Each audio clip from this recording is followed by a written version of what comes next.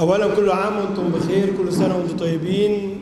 آه هذه الأيام هي أيام مولد المصطفى المبعوث رحمة للعالمين أيام جميلة أيام ربيع المصطفى عليه الصلاة والسلام. النهارده خلال دقائق هتقسم يمين المحاماة هتستلم كارنيه مكتوب فيه الأستاذ فلان المحامي.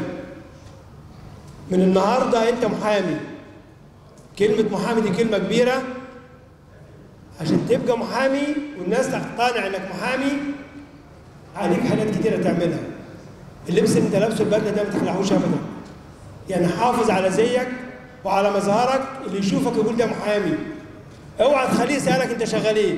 لو سألك أنت شغال إيه يبقى كده بيهينك. لبسك ولبس حضرتك يكون يدل على شخصيتك. اللي يشوفك يقول ده محامي. ده بيه؟ التحق بمكتب محامي في البلد اللي انت فيها. اتعلم المحاماة. في فرق بين الدراسة الأكاديمية اللي انت درستها وممارسة الحياة عملية. ممارسة مهنة المحاماة عاوزه تعلم. هي مهنة تعلم شوف مكتب في بلدك في قريتك في مدينتك وتعلم المحاماة. وهات كتاب اسمه قانون المحاماة وجراه في باب كده حقوق المحامي وواجبات المحامي تعرف اللي ليك؟ واللي عليك عشان تتعامل من منطق القانون أنت معرض يوميا لمشكلة مع ضابط مع وكيل نيابة مع قاضي مع موكل. تبقى عارف إيه حقوقك وإيه واجباتك.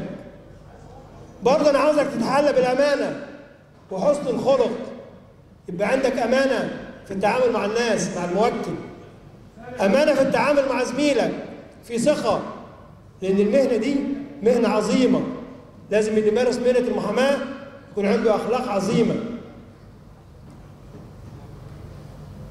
عاوزك يبقى عندك كرامة. اوعى حد يدوس على كرامتك ابدا يبقى عندك كرامة. تعامل وعندك كرامة. تعامل بكرامة. كرامتك فوق كل حاجة. الرزق هيجي لك لغايه عندك. بلاش يعني تسلك سلوك مشين من أجل المال. لا خليك محامي محافظ على كرامتك محامي. محامية محافظة على كرامتها كمحامية.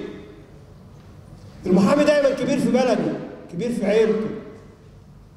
لازم تحافظ على المكانة دي بتاعتك ولازم تقرأ قانون المحاماة وتعرف اللي ليك واللي عليك.